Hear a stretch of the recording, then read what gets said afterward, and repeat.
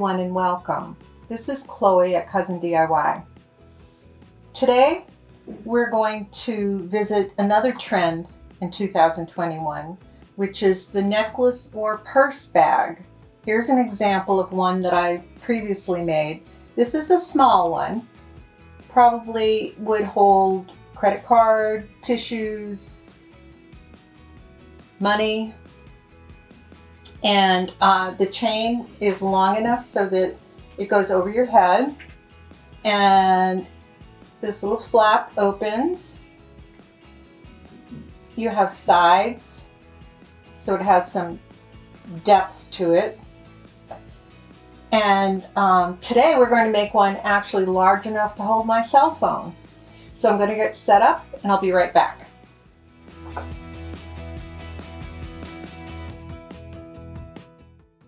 This is my cell phone and to get started I took some rough measurements. I want to make it a little bit wider than the width of my, my phone. We'll be cutting this plastic canvas which will be the base for our needlework. I did some calculations and I came up with the measurements 3 and 3 16 inches wide by 5 and seven eighths inches high. When you're cutting plastic canvas, it's important to make sure that you cut even with the bar, with one of the bar lines. You, your canvas consists of these little square holes and these bars. So I'm going to go ahead three sixteenths right there.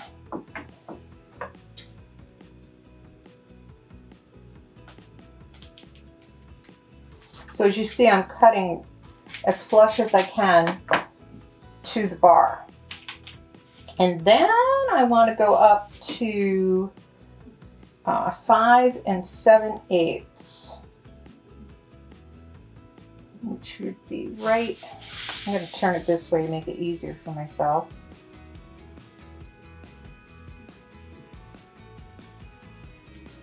And that lines up with this bar right here. I want to double check and make sure that's right before I cut. And it is. I'm going to cut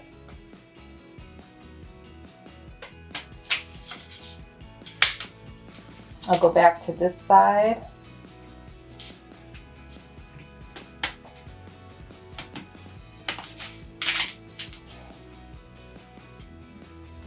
There you go. I have a piece that has bars all along the edges. Now I'm going to go ahead and cut the remaining pieces. I need a matching front. Uh, I determined that the depth I want uh, for the sides is 13 sixteenths and the same for the bottom. So I'm going to go ahead and cut those pieces and I'll be right back.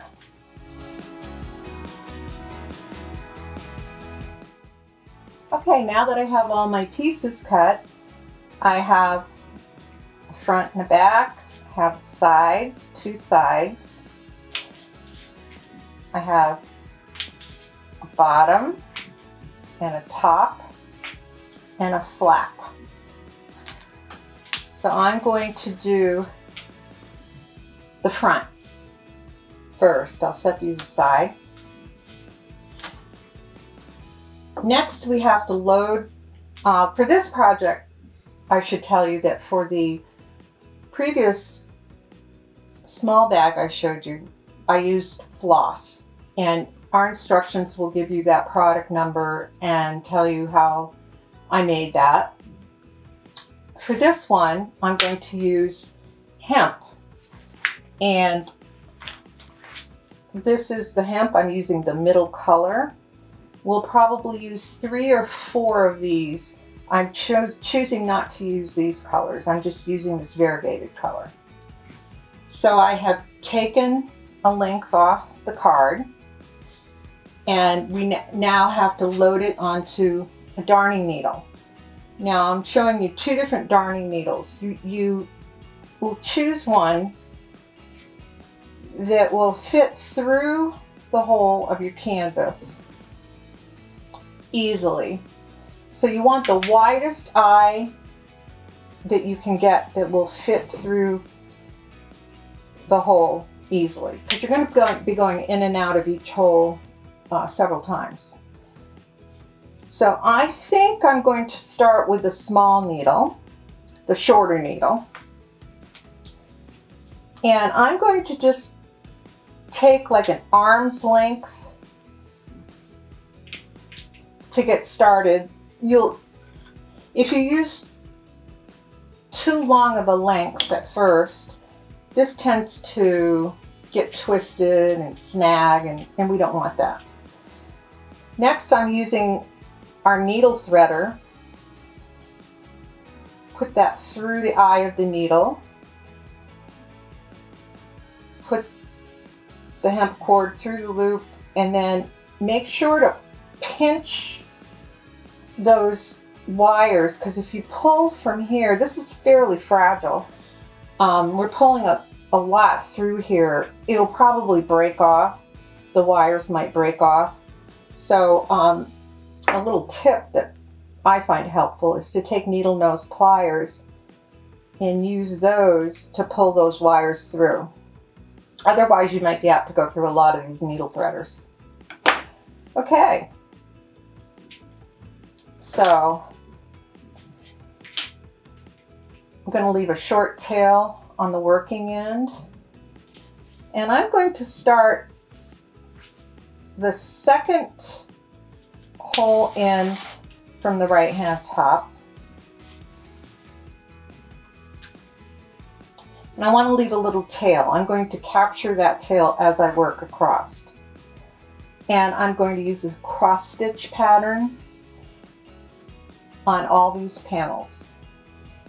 So I've gone ahead and counted all the holes and I've decided that I'm going to make my first cross stitch pattern working with four holes. So one, two, three, four. I want to cross this first one over and go down through there.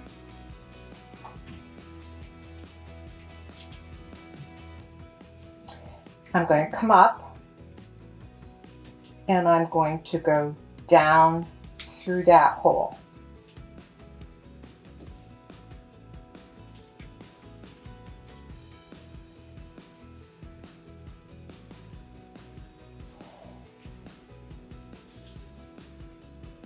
Make sure that your hemp cord isn't twisted. Now you'll see that this stitch crosses over that stitch. I want to make sure as I work my way across the canvas that that stitch always is on top of the first stitch or the first cross. So to accomplish that, I want to come, you're always, if your tail comes out at the bottom, your next entry should be at the back on the top. In the reverse, if your cord comes out of the top, it would be the opposite. So I'm going to go through this next hole and I'm going to go on top of that tail that we're going to hide. Pull that through. Now I'm going to connect back over to this hole from the previous stitch. Now the cord came out of the bottom, so we want to go up. I'm going to go through that hole and I'm going to cross over and come back through that hole.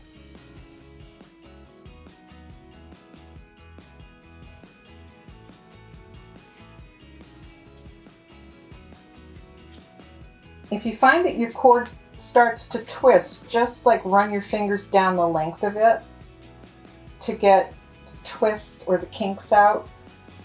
I'm just going to keep repeating that.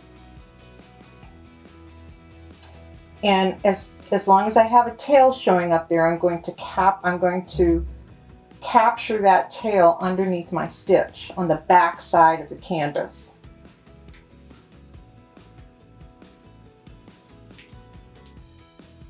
I'm going to work my way across the top here and then I'll show you how to start the next row.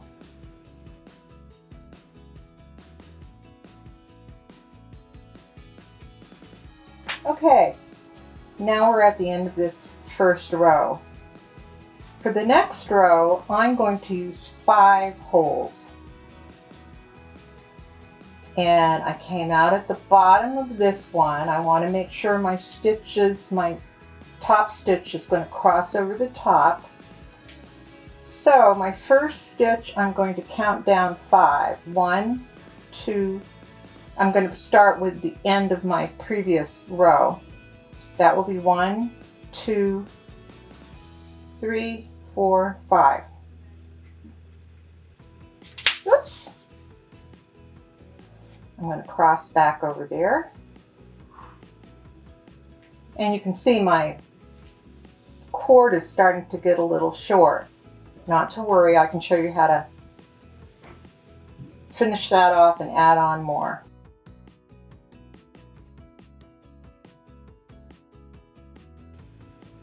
Okay, this tail is getting pretty short. So we'll go back through to the back side. And on the back side, we're going to take the needle and I'm just going to slide it behind these stitches and I'll come out right here. I find it helpful to use the needle nose pliers. Pull that tail out. Carefully take your scissors and snip that tail. And that is nicely hidden. As you can see on the front side, you can't even tell. So now I need to thread my needle again. Again, I'm going to take, oh, like one and a half arms lengths.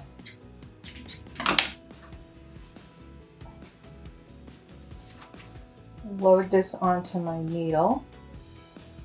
Through the eye of the needle, add the cord. Use my needle nose pliers to pull that through the eye.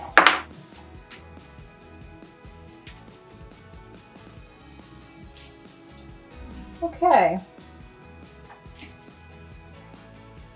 Now I want to continue, um, the back sometimes won't be perfect because of where you're adding and ending, uh, ending off cords. But on the top side, the front side, you'll never see it.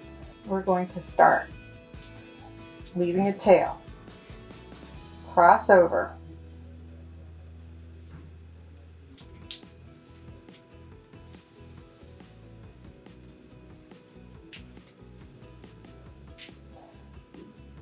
My cord is wanting to kink on me, so I'm going to be very careful as I pull it through.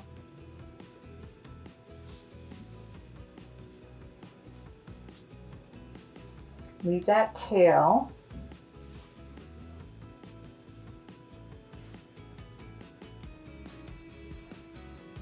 Go back up, capture that tail on the back side.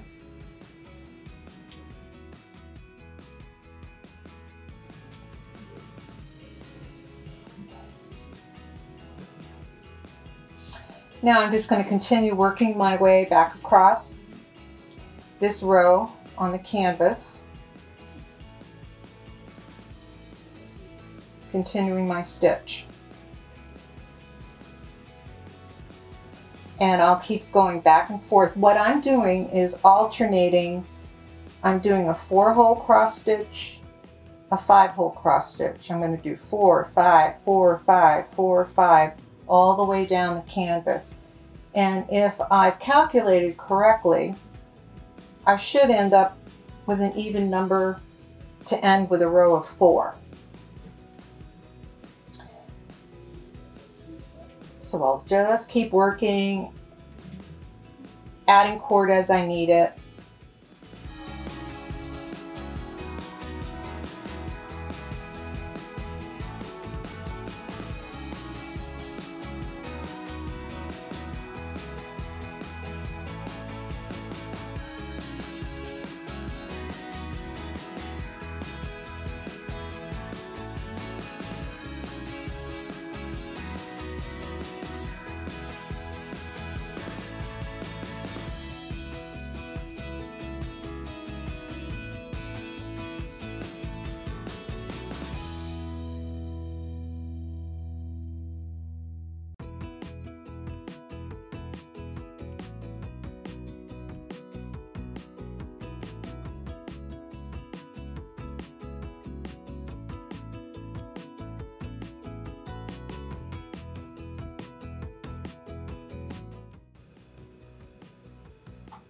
Okay, now that this is complete, we're going to hide our tail, finish our tail off by going, running it through the back of our stitches on the back side.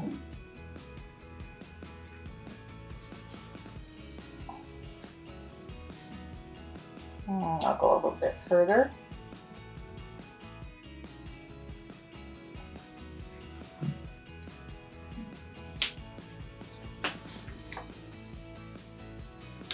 We'll trim that off.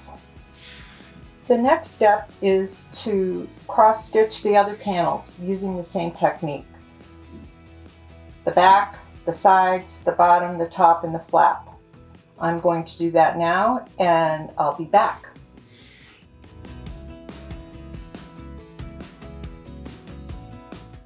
Here's all my completed pieces. Next, I'm going to choose which panel I want to be the front. And I'm going to choose this one. They're, they're stitched exactly the same, but I kind of like the looks of this one. The next step is to attach our bicycle pendant onto this front panel. I want to figure out approximately where I want it. The flap will be up here so I think we want it right around there.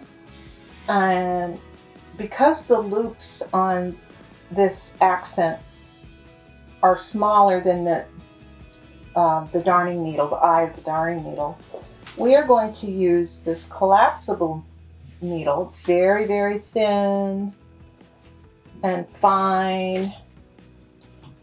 So I'm going to load some cord through the eye Whoops. Let's try the other end.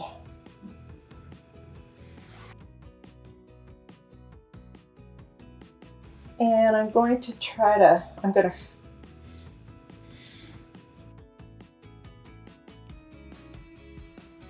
work that needle through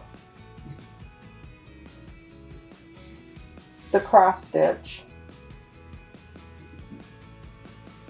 pull my cord through.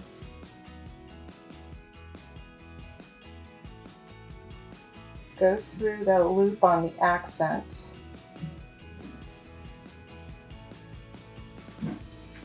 And again, this is where needle nose pliers come in handy. Make sure that's where I want it. And I think that works. And then I'm going to fish it back through.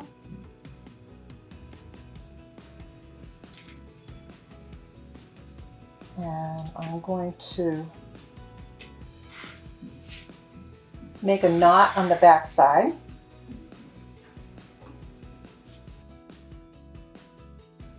to attach that loop.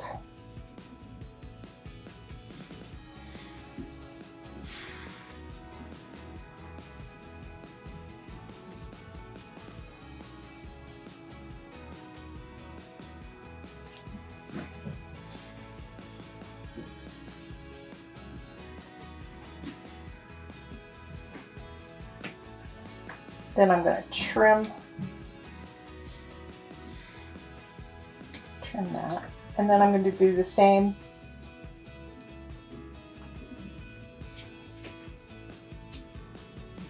with the loop on the other side of the accent. Next step is going to be to finish off this top edge of the front panel. And I'm going to start by pulling my tail through the back side, hiding it behind some stitches. And the overcast stitch is simply you go up and you go down through the necks and you just keep repeating that. And it finishes off this raw edge.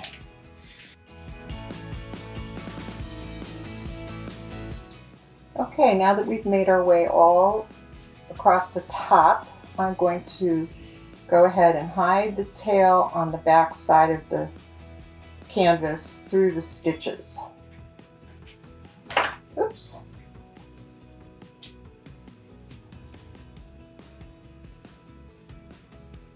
Go a little bit further.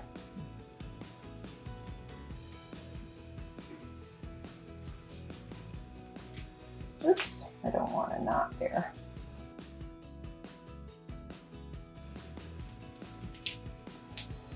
And then we'll just trim that.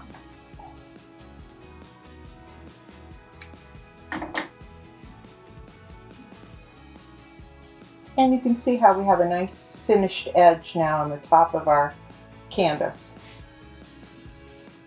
Now, next I'm going to go ahead and I'm going to do the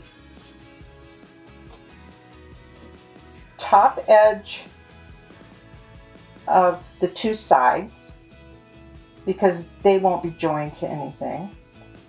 And I'm going to do the side edges of the top. And then I'm going to go ahead and do the three edges, the width and the length of the flap. I'm going to go ahead and do that now and we'll be back.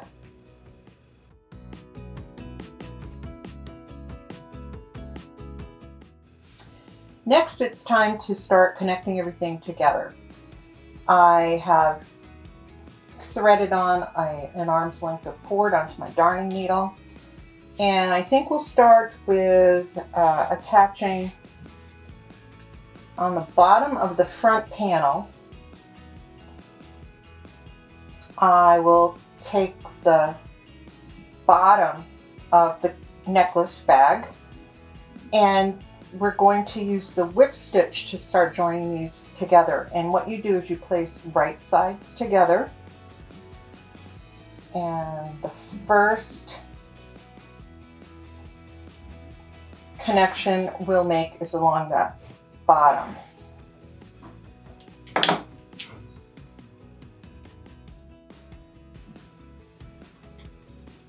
I'm going to start by hiding my tail.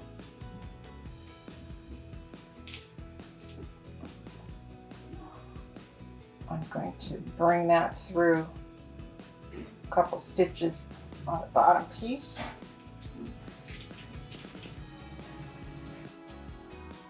Right about there, hiding that tail. And the whip stitch is used to join two pieces of plastic canvas together.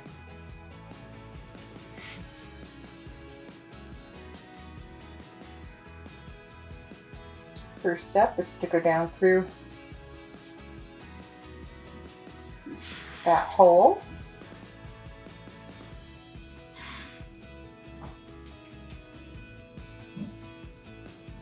Hold my tail, I want that to stay in.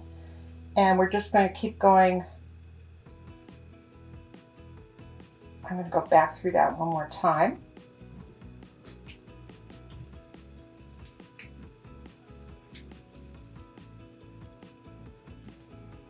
And then I'm going to run stitches joining those holes together all the way down.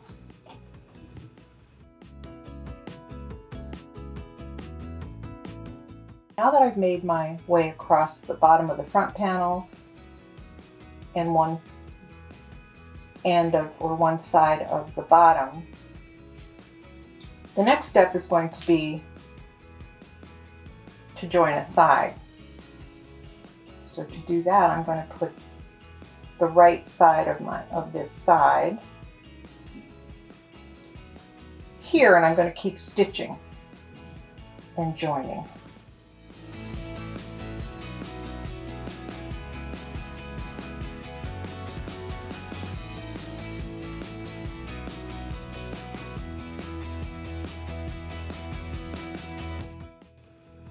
Okay, let's see.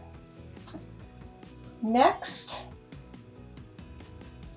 I think there's lots of different way uh, choices to make in what order you connect everything, but I think I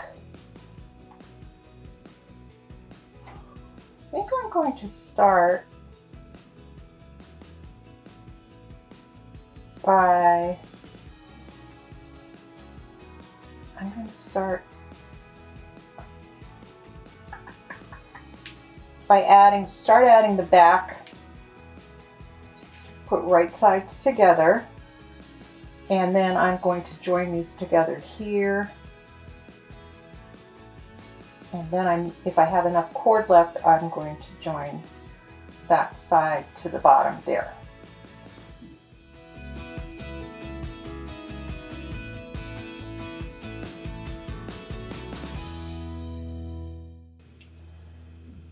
I cut another arm's length of cord and I'm going to thread it onto my needle.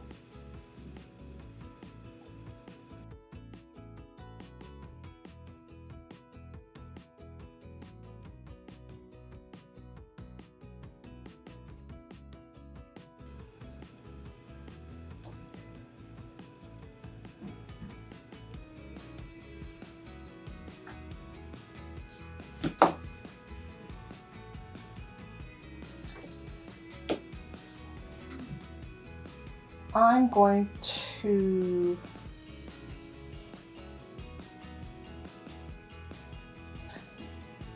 continue working my way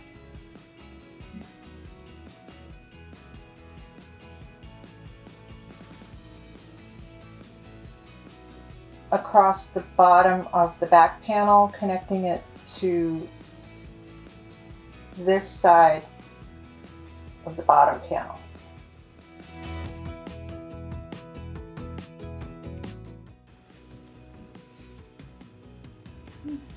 Okay.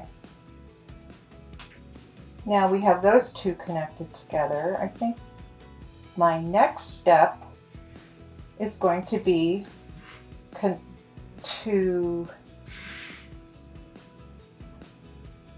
connect the other side to this side of the back.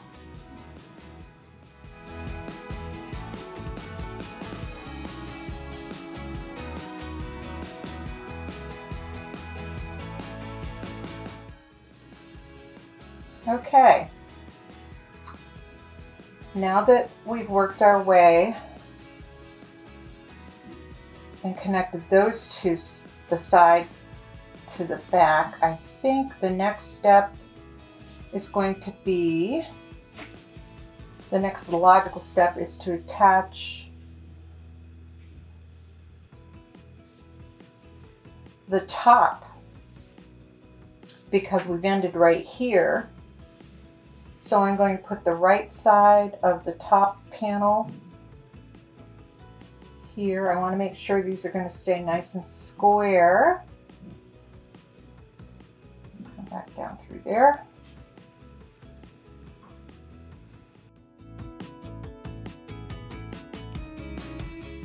We have left to connect this side to the front,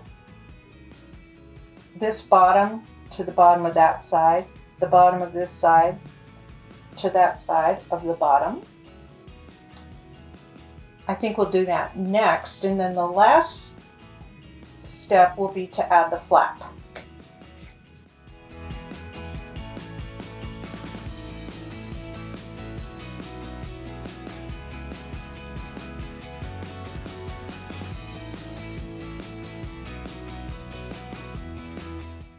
The last thing is to connect the chain. So we're just gonna, the chain is all connected, so I'm gonna cut it right here. I'm going to take a six millimeter jump ring and open it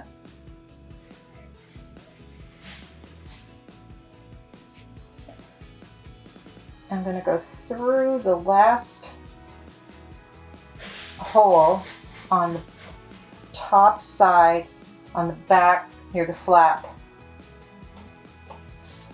and connect one end of the chain.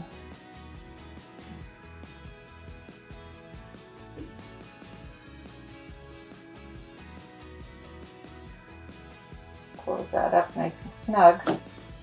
And at this point, you can determine how long you want it. You definitely want it long enough to pull over your head because we're not going to put a clasp on the back, although you could if you wanted to. So I think I want mine to hang and that will go oh, right around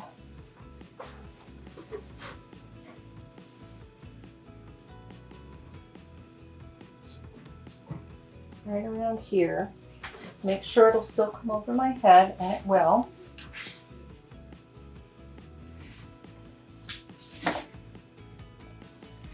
I'll add a couple inches, and then I'm going to cut the chain again. Use another six millimeter jump ring to attach the other side of the chain to the other side of the purse.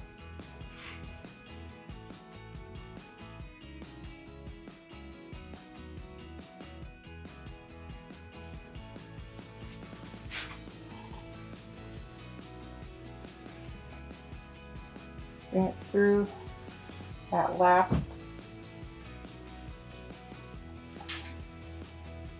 open it quite large to get it fish it through that top no the back hole right here and close it nice and snug.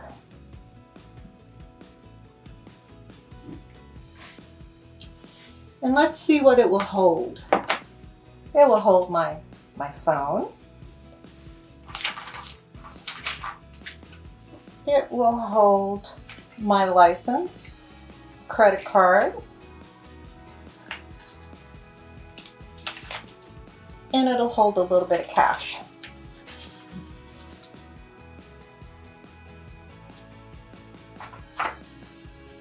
There you go. If you make your own necklace bag, we'd love to see it.